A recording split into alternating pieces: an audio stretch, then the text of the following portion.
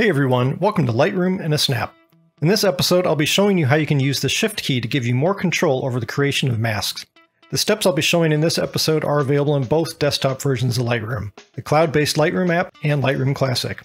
As always, if you're not familiar with the differences between the two Lightroom apps, I've included a link in the description to my blog post where I cover all the pros and cons of each version and provide some recommendations to help you decide which is the best for you.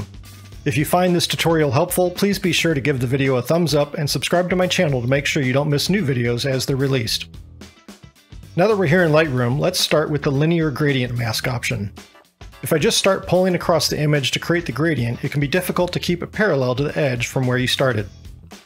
To make a perfectly parallel linear mask, simply hold down the Shift key before you start to create the gradient.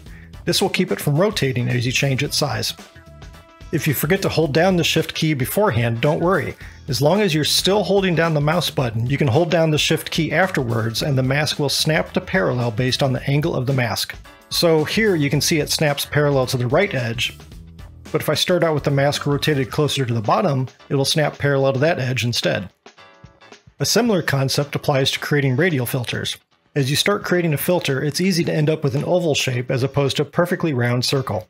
Often that's just fine, but if you need a perfect circle, simply hold the shift key before you click and drag to create the radial mask.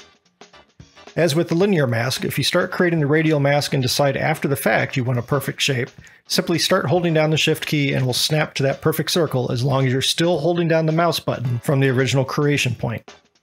Now, if you've already created the radial filter and have already let go of the mouse button, you won't be able to make it snap into a perfect circle. You'd have to start over or just eyeball it to get as close to round as possible.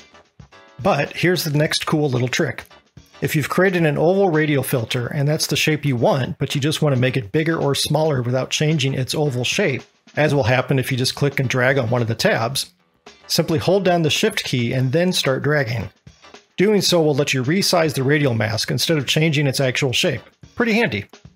Last but not least is the brush mask. Here, you can create a perfectly straight brush mask in two different ways. The first method is to hold down the Shift key and then move your cursor along the path you want the straight line. Voila! The other way you can create a perfectly straight brush mask is by simply clicking anywhere in the image to start your brush, then hold down Shift and click at the point where you want it to end. Either way, you get the same result. But that's not all you can do by using the Shift key with a brush mask. Using the second method by clicking into two different parts of the image to create a straight line, I can create a straight line and then, while still holding down Shift, create additional lines that are attached to the previous ones. Another handy trick you can take advantage of when using the two-click method to create a straight line between two points. Set your brush size for your first point, click on the image, and then change your brush size before clicking for the second point.